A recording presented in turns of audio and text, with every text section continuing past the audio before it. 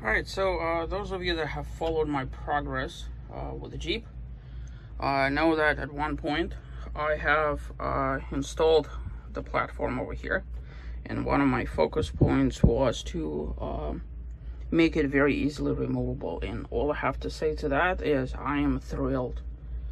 Um, addition of 2x4s, which I've adhered Velcro from last time, uh, made it super easy. Um, basically it takes me like seconds to remove the tables out of here so that I could go and slide into my business. So uh, for the longest time ever, I've had um, my electrical ports, and this is the uh, adhesive residue. I'll clean this up eventually. Um, from the duct tape covering the ports. So uh, none of this was connected for a very long time. I have meant to install the uh, turn off switch and I just never get around to it. So now is a good time for me to actually get to it. Oh, and um, I don't know if I showed this or not. Um, uh, I did mention it in a couple of videos. Um, on my motorhome, which is right there, I have a TST tire monitoring system. And so I did mention that I ordered a second one, and um, I did, and it's going smack in the middle of over there. Um, but uh, so that whole thing comes with this. Okay, so this is the extender for um, the trailer. And so what better place to put it? But on the back of the truck, still connected to the 12 volt. I don't have to finagle with it. Uh, in the future, if I want to move it, I might actually relocate it on the actual trailer itself. But for the time being, it's just easier for me to keep it here. So it's nicely and tucked away. And this is actually the reason why I've gone through the project. Because as your needs explode uh, over time, uh, then you have to open everything all over again. And then you have to uh, figure out how to like th this is just so much easier when you have your negative and positive right in the open and you just connect anything that you need. So function over form. But i did tidy up the uh, cables a little bit. So but um onto this mess over here. So um we have uh, maybe i should have closed this let me see. If I could do this without pinching my fingers in process, there we go. Um, all right. Had to close the uh, the window there for a minute. So uh, basically, you have positives and negatives. So one leg goes. I guess it didn't do much of a difference. It's still shining in the uh, camera. But so one positive and negative goes here.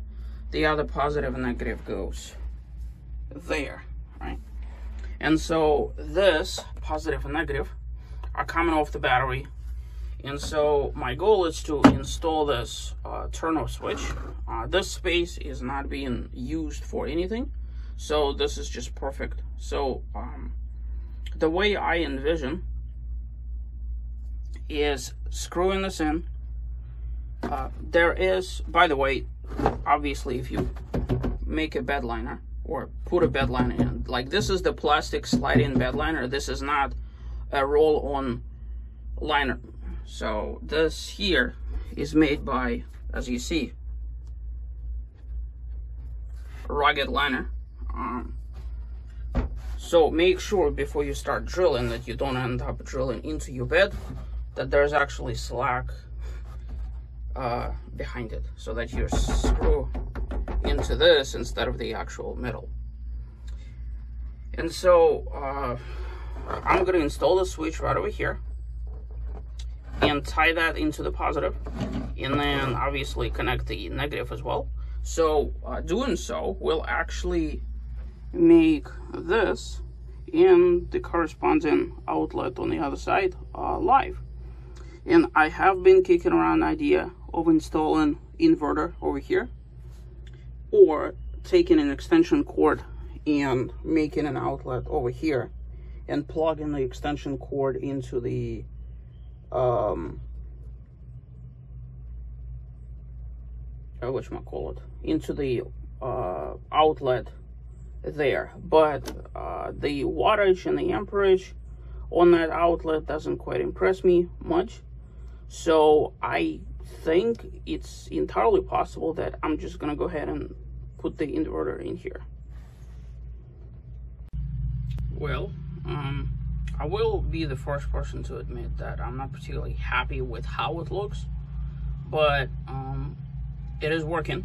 It does exactly what it needs to do. So uh, this is kind of sort of out of the way um, off the ground and off the uh, kind of like tucked in that little corner. So um, I have been looking for a cover for all of these and I haven't and that's kind of the reason why I've been using uh, duct tape all this time.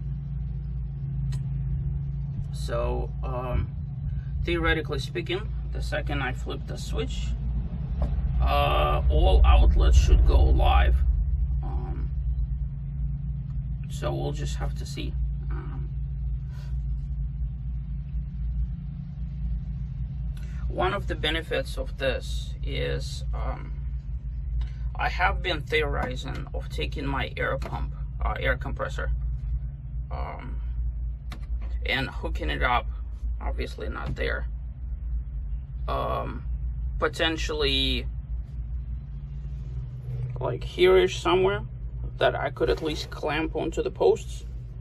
Um, I'll have to experiment with that because it is uh, that that air pump is extremely power hungry. I think it's rated for 130 amps or something.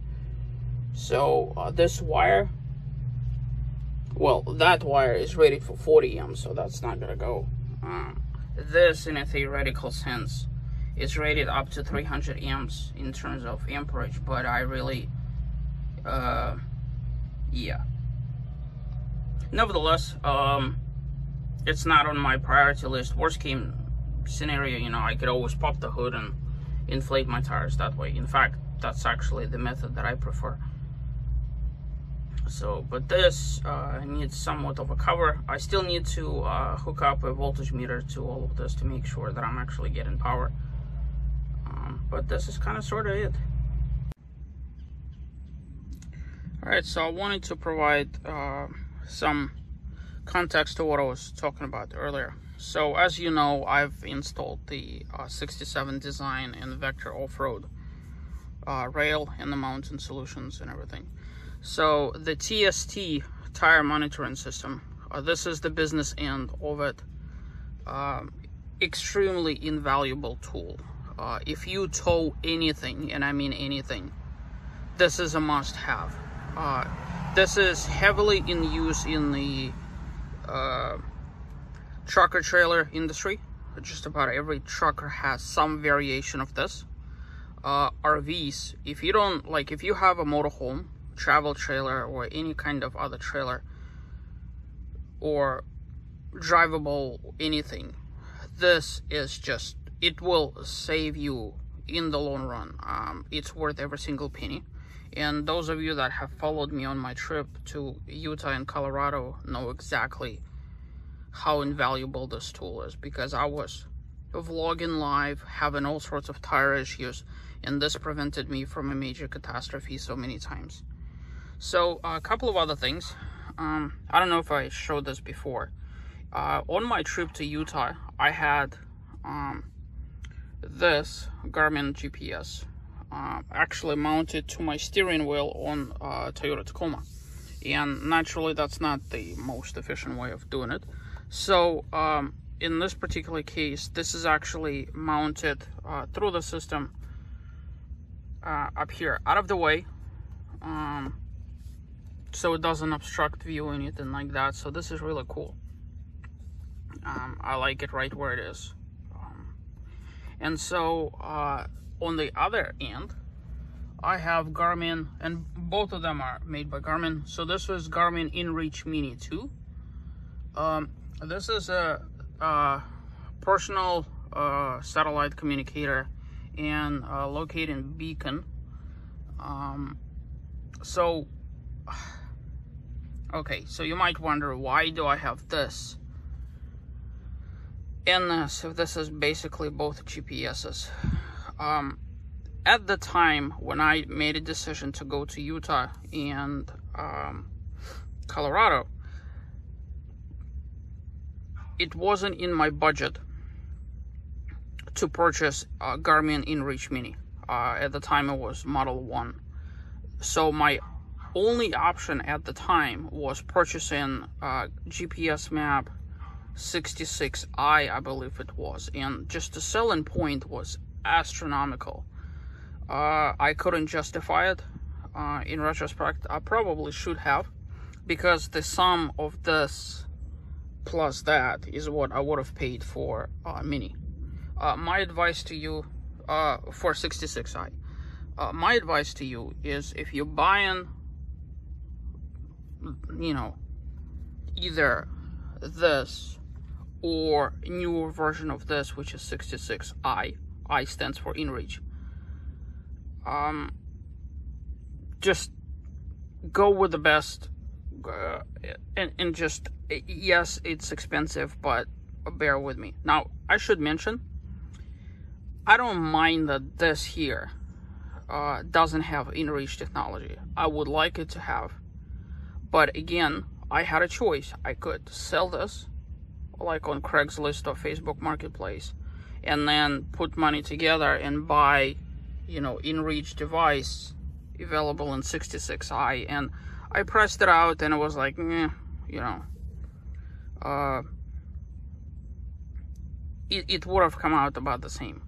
So the benefit of this is that if this breaks, I still have this. Um, and I actually prefer to keep it separated uh, because I know I have a double redundancy system, not just for GPS but also for communication. So in, in this, uh, the battery on it is absolutely insane. You could turn it off, keep it off, and turn it back on in like a year and it will turn on. So um, there's that. Uh, there were some other things that were, oh, by the way, um, this is not going to be used for off-roading so um, in an off-roading situation this comes off so I get you know obviously increased vision. This is only uh, to be used for towing. So uh, normally like the do I daily drive there's nothing in here except for my phone that's stuck in there all right now uh, let me show you what I did here.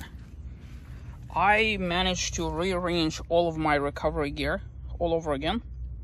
And actually this time around, I've um, added additional components. So I have kinetic rope and this kinetic rope is actually much stronger uh, than what this Jeep really needs. But the only reason why I got a stronger one is because of my motorhome um, several years back. Not this motorhome, the one before it got religiously stuck up to its belly over there. And so it took several uh, tow trucks to get it out of there. So at this point, I have a mini shovel. I have a whole bunch of uh, D-shackles. I have a whole bunch of um, straps. Uh, I have uh, whatchamacallums, uh, pulleys and uh, soft shackles. So this thing is like loaded from A to Z. Um, in, in terms of recovery between this and the boards that are located over there, um, I am fully set as one could possibly be. Um, so th this is really cool. I, I like how things are. Um, this space is to be used only for recovery gear. All right, now over here, I've done a little tweak. Um, technically, I don't need this. This is the tire deflator, uh, given the fact that I upgraded. But this is what I went to uh, uh, Moab with. So I have jumper cables and also a tire deflator as a spare one.